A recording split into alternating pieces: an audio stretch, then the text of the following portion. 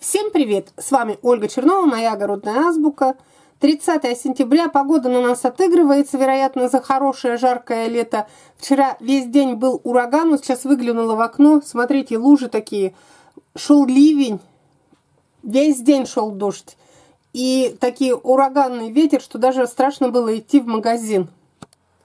И несмотря на то, что еще сентябрь, погода у нас установилась уже такая довольно-таки, смотрите, ночные. Вот сейчас в 8 утра у меня 0, ой, сейчас у меня 2 градуса, а когда я встала в 7 часов, в 6.30, было 0. И ночные установились вот 0, минус 1, плюс 1.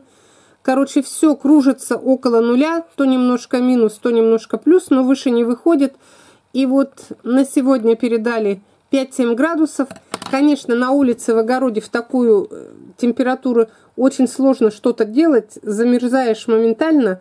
И тут, естественно, выручает огород на окне.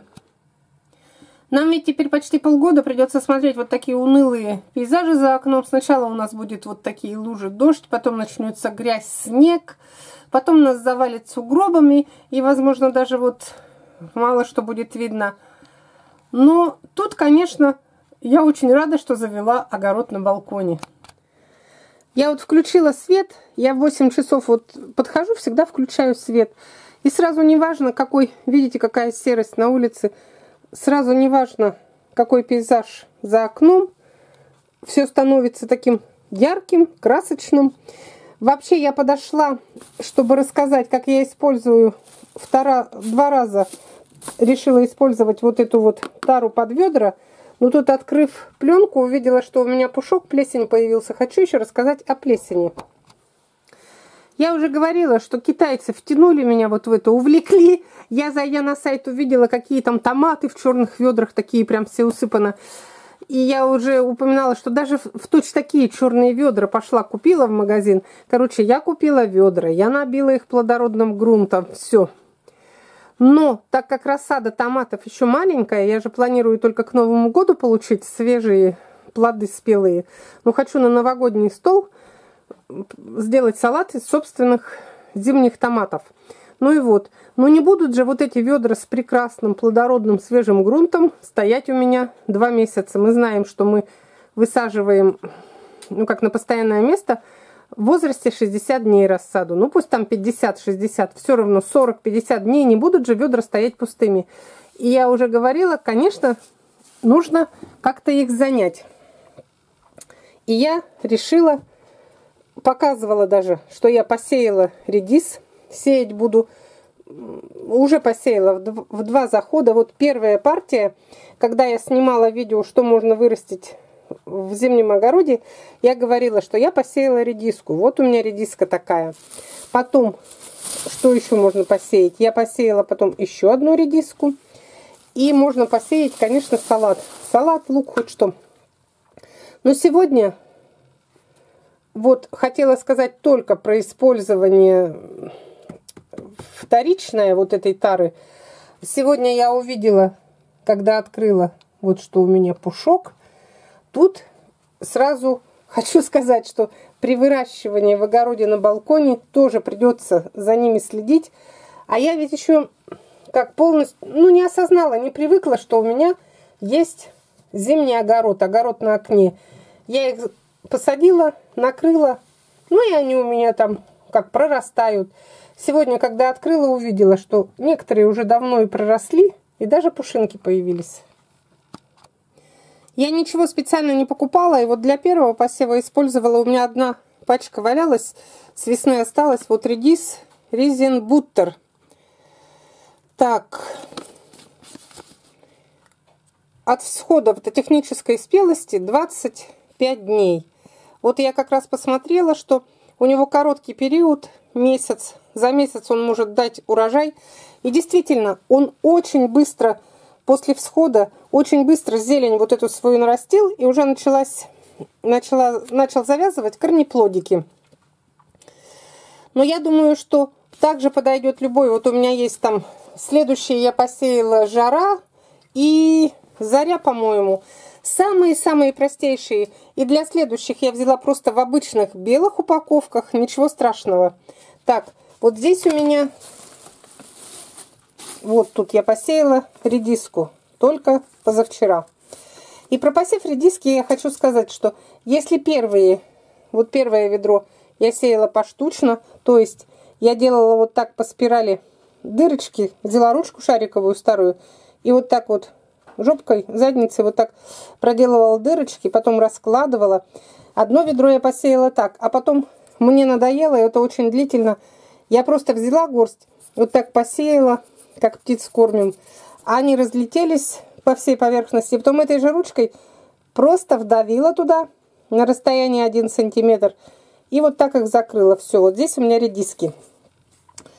Но одну редиску кушать не будешь, поэтому я добавила в следующее ведро вот этот, видите, написано салат из Ирландии. Вот это тот самый салат, который я весной теплицу с подогревом сеяла. Видите, слова не русские, я не знаю. И он вырастает. Тут, конечно, смесь. Семена вот такие вот разные, как и как укропин, и как укропин, укропное семя, и как вот эти редиски на семена всякие. В следующее ведро я посеяла салат. По-моему, вот здесь он, да. Но я теперь не могу сказать, я, к сожалению, не подписала. И салат можно сеять обычный наш, я уже говорила.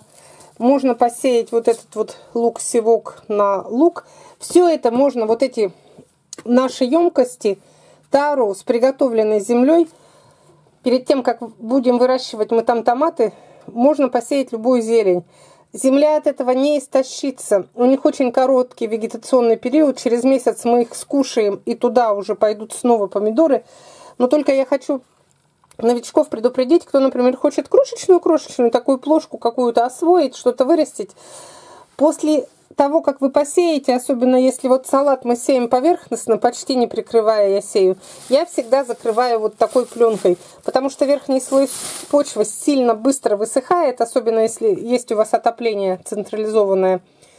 И семена могут пролежать долго в сухом грунте, поэтому я хорошо поливаю, потом закрываю. Ну тут самое главное, из-за чего я сегодня начала снимать, нужно вовремя убрать пленку. Вот смотрите, что у меня случилось.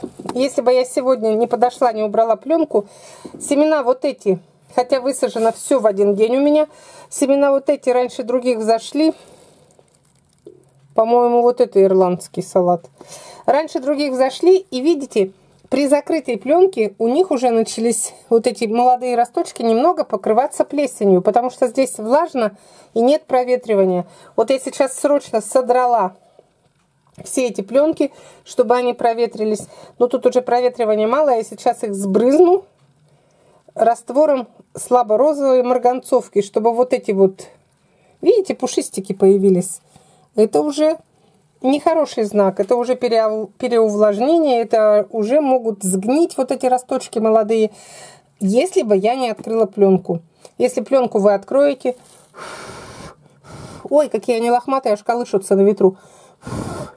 Вот это вот молодая плесень. Очень красивая, но нам не нужная. Все. Несколько слов вот про огород, про огород на окне. Как вы видите, что для того, чтобы вырастить что-то на окне, ну никаких, буквально никаких стараний, никаких умений не нужно. Насыпать земли, разложить семена, полить и ждать урожай через месяц, дней через 25, 30, 40, в зависимости от сорта редиски, например, а салат еще раньше у вас поспеет. Уже будет готовая продукция. Вот у меня готовая продукция уже будет, наверное, через неделю, дней через 10. Как раз к этому времени у нас выпадет, наверное, снег, потому что уже в сегодняшних прогнозах было сообщение, что будет снег. Все, до свидания. С вами была Ольга Чернова. Это «Огород на окне». Урожай не за горами.